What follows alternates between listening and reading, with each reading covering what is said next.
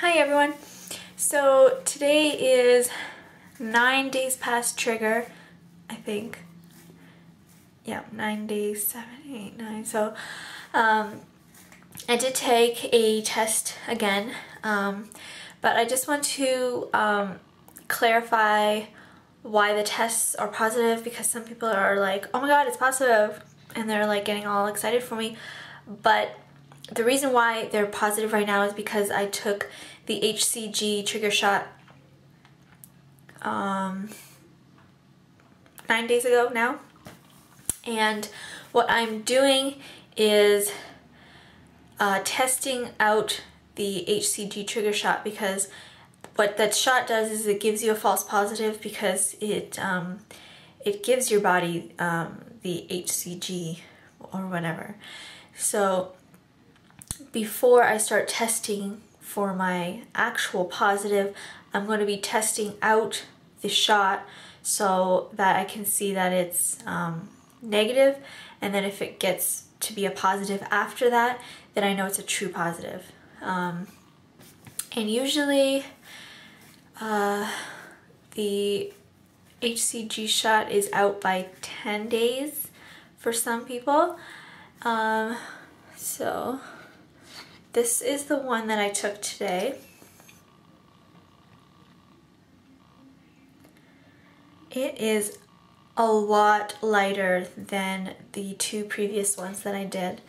So it is coming out of my system finally. And I'll show you the tests together. This lighting is really bad. I'm to try taking the flash off. See if that's better.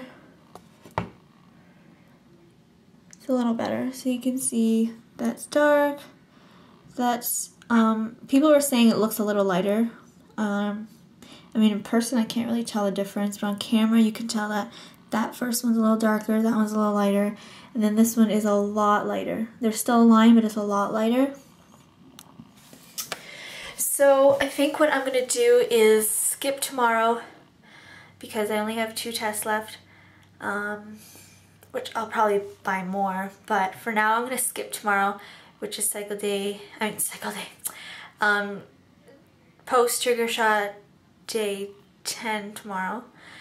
Um, because according to today's test, tomorrow is either going to be uh, negative or still slightly positive, like a faint line.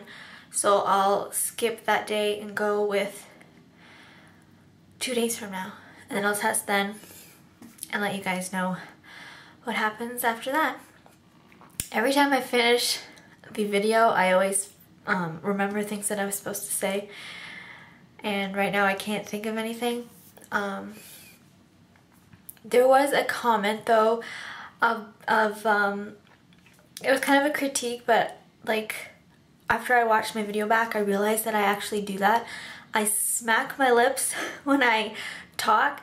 I don't think I do this in, in person, but when I watched the video over again, I noticed I did it and I guess like after I stopped talking, like I do this like kind of thing with my mouth and I did it like five times in that video and somebody said that it was really really annoying and I agree like I was super embarrassed watching it back because that is pretty irritating. But I don't realize that I do that so I'm gonna try not to do it. I probably did do that in this video. I just I, I don't even realize I'm doing it. So I'm gonna try not to. Every time I stop talking I'm gonna try not to do that with my mouth. Um, I'm sorry if that bugs you um, but I don't mean to do it. Uh, so yeah that's it and oh my gosh I just did it. See? That is so weird. Okay I'm just gonna cut this video now.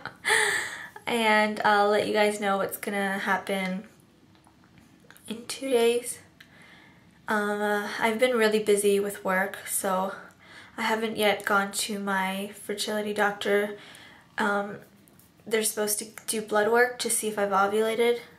And then a week after that they do um, pregnancy test. So they're supposed to see if I ovulated now, but I'm too busy with work to go and do that.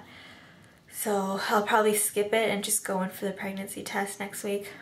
Yeah, I'll probably do that. Uh, so that's it, and I'll talk to you later. Bye.